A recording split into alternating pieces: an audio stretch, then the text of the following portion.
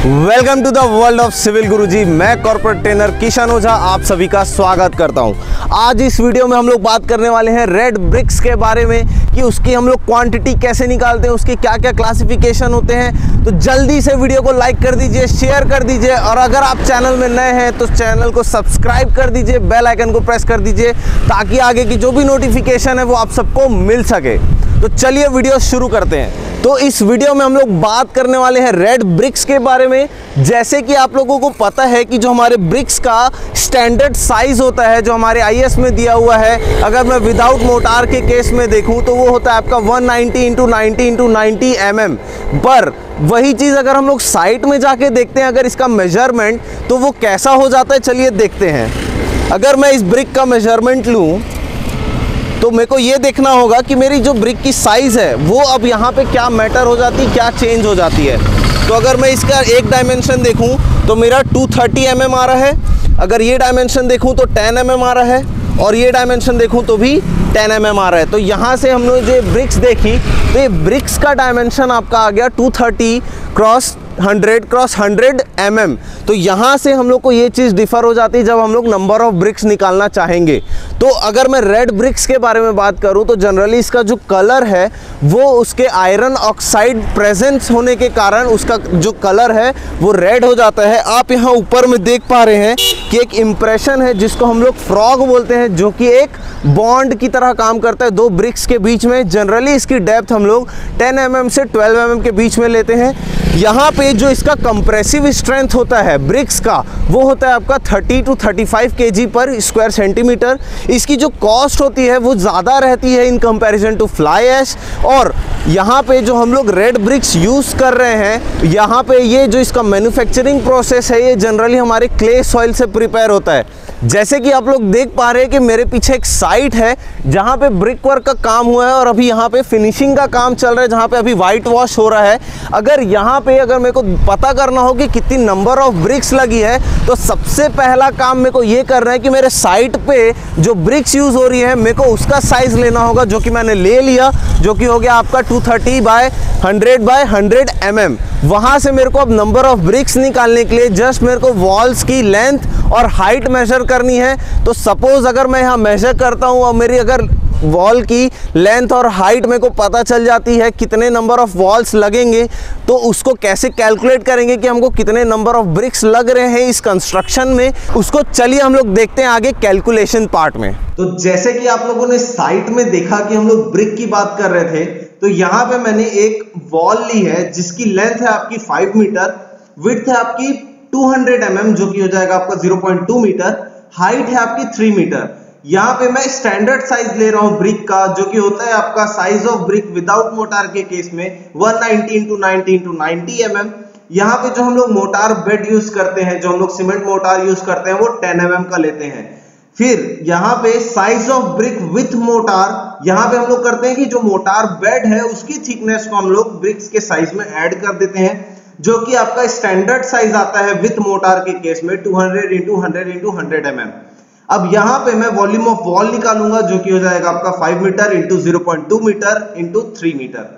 वहाँ से मेरा वॉल्यूम आ गया 3 क्यूबिक मीटर अब यहाँ पे अगर मेरे को नंबर ऑफ़ ब्रिक्स निकालना होगा स्टैंडर्ड साइज़ के केस में तो मैं करूँगा total volume divided by size of brick with mortar तो यहाँ पे जो मेरा वॉल्यूम आया था, वो 3 क्यूबिक मीटर आया था। जो size of brick with mortar है, वो है मेरा 0.2 metre into zero metre into zero metre वहाँ से मेरे जो नंबर ऑफ़ ब्रिक्स निकल के आए स्टैंडर्ड साइज़ के लिए वो हो गए आपके 1500 नंबर्स मतलब मेरे को 1500 ब्रिक्स लगेंगे उस वॉल को। कंस्ट्रक्ट करने में। फिर वही चीज़ अगर मैं दूसरा एग्जांपल लूँ, जो कि मैं साइट में गया था, मैंने साइट में ब्रिक का साइज़ देखा था कि मेरा जो विदाउट मोटार के केस में जो साइज़ ऑफ़ ब्रिक आया था, वो आया था 230 thirty into hundred into hundred M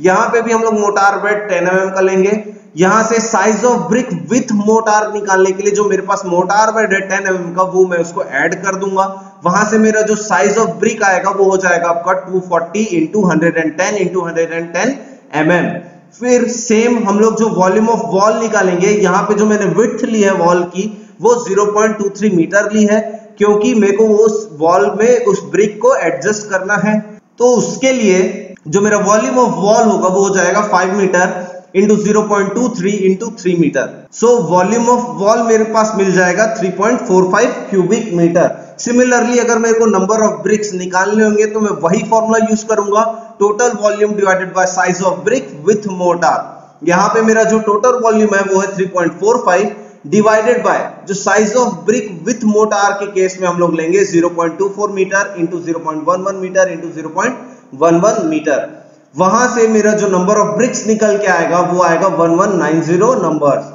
तो यहाँ पे आप देख पा रहे हैं कि मेरे पास जो स्टैंडर्ड साइज़ ऑफ़ ब्रिक था उसके केस में मेरे को जो नंबर ऑफ़ ब्रिक्स निकल के आए वो आए थे 1500 पर वही चीज़ अगर मैं नंबर ऑफ़ ब्रिक्स साइड पे मेरे पास जो ब्रिक की साइज़ थी, उसके अकॉर्डिंगली मैंने निकाला तो मेरे पास आ गया 1190